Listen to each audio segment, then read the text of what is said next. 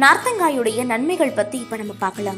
உடல் சூடு அதிக பாதிப்பை ஏற்படுத்தும். உடல் சூடு தனிய டெய்லி நாத்தம்பழம் சாப்பிட்டு வந்தனா தனிஞ்சிடும் உடலுக்கு புத்துணர்வும் கிடைக்குது. இந்த பழசார மதிய வெளியில குடிச்சிட்டு வந்தனா வெயிலுடைய தாக்கம் குறையும். பித்த அதிகரிப்பால ஈரல் பாதிக்கப்படுறதோட ரத்தமும் அசுத்தமடைஞ்சு பல நோய்களை ஏற்படுத்தும். இந்த பித்த அதிகரிப்பால தலை சுத்துறது வாந்தி மயக்கம் ஏற்படுது. இதுக்கு நார்த்தம்பழத்தை டெய்லி சாப்பிட்டு வந்தோம்னா பித்தம் தணிஞ்சிடும் கர்ப்பிணிகள் காலையிலையும் மாலையிலையும் நார்த்தம்பழ சாறு எடுத்து தண்ணியில கலந்து அதுல ஒரு ஸ்பூன் தேன் விட்டு நல்லா கலந்துட்டு அதை குடிச்சிட்டு வந்தானா சுகப்பிரசவம் நடக்கும்.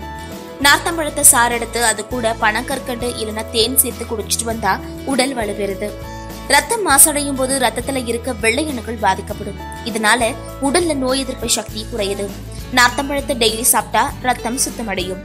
வயிற்றுல ஏற்பட்ட புண்ணுக்கு நார்த்தங்காய் ஊறுகாய் நல்ல மருந்தா அமையுது. நார்த்தங்காயை வட்ட வட்டமா நறுக்கி உப்பு சேர்த்து ஒரு மண்பானையில போட்டு வாய துணியால மூடிடணும்.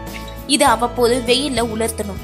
இப்படி நாற்பது நாட்கள் செஞ்ச பிறகு அதுல இருந்து தினமும் ஒரு துண்டை எடுத்து டெய்லி காலையிலயும் மாலையிலும் சாப்பிட்டு வந்தோம்னா வயிற்றுப்புண் குணமாகுது.